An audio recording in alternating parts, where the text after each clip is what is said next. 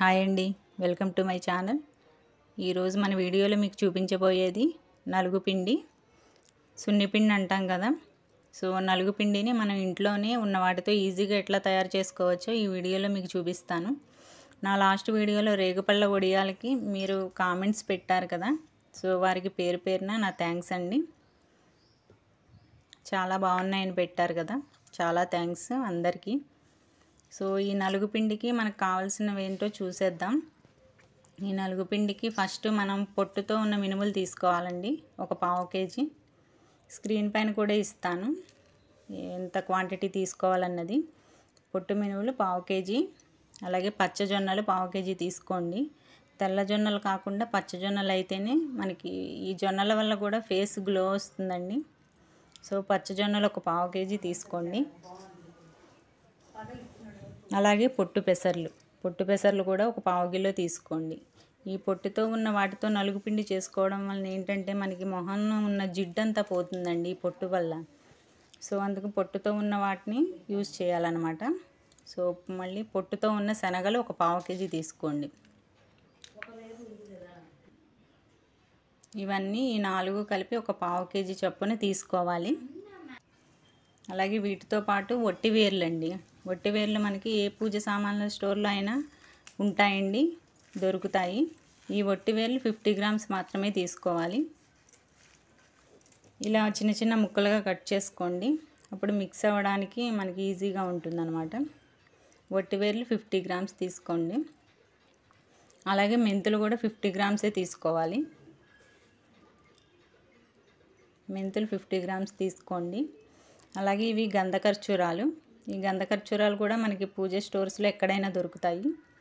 ఈ గంధఖర్చూరాల వల్ల ఏంటంటే సున్నిపిండికి మంచి సువాసన అనేది వస్తుంది. ఒట్టి వేళ్ళు గంధకర్చూరాల వల్ల మంచి సువాసన వస్తుందండి సున్నిపిండికి. సో ఇవి కూడా ఫిఫ్టీ గ్రామ్స్ తీసుకోవాలి. సో మనం పొట్టి శనగల్ని మనం కొంచెం కచ్చా పచ్చాగా దంచి ముక్కలుగా చేసి మిక్సీలో వేసుకోండి. లేదా మిక్సీ పాడవుతుంది. ఇలా ముక్కలుగా చేసి పొట్టుతో సహా వేసేసుకోండి.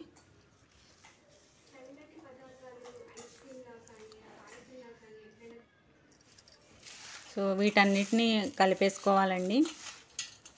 వీటన్నిటిని కలిపేసుకుని వట్టి వేర్లు గంధకర్చూరాలు మెంతులు మినువులు పెసర్లు జొన్నలు శనగలు అన్నీ కలిపి కలిపేసుకుని కొద్ది కొద్దిగా మనం మెత్తగా మిక్సీ వేసేసుకోవాలి. ఇంకా జల్లించుకోవాల్సిన అవసరం కూడా లేదు. శనగలు మాత్రం కొద్దిగా దంచి వేసుకోండి. సో ఇవన్నీ కలిపి ఇలా మెత్తగా మిక్సీ పట్టుకుంటే మనకి మంచి సువాసన గల సున్నిపిండి రెడీ అవుతుందండి. మంచి స్మెల్ అనేది వస్తుంది. సో మనం కొద్ది కొద్దిగా మిక్సీ పట్టుకుని మెత్తగా మిక్సీ చేసేసుకోవాలి. జల్లించుకోవాల్సిన అవసరం కూడా లేదు. కొంచెం గరుగుతనం ఉన్న ఫేస్కి మంచిదే. సో మనం కొద్దిగా దీన్ని బౌల్లోకి తీసుకుని కొద్దిగా వాటర్ పోసుకుని జస్ట్ మనం సోప్ ఎట్లా రుద్దుకుంటాం అలాగే ఒళ్ళంతా రుద్దుకుంటే మనకి ఉన్న జిడ్డంతా పోతుందండి. సో ఫేస్ కూడా మంచి గ్లో వస్తుంది. అలాగే మంచి సువాసన కూడా ఉంటుంది. సో మరి మీరు కూడా ట్రై చేస్తారని అనుకుంటున్నా. అలాగే నా నెక్స్ట్ వీడియోలో పొడి చర్మం ఉన్న వాళ్ళకి తడి చర్మం ఉన్న వాళ్ళకి ఫేస్ ప్యాక్ ఎట్లా చేసుకోవాలనేది చూపిస్తాను. సో నా వీడియో మీకు నచ్చినట్లయితే ఈ వీడియో మీకు నచ్చినట్లయితే లైక్ చేయండి షేర్ చేయండి.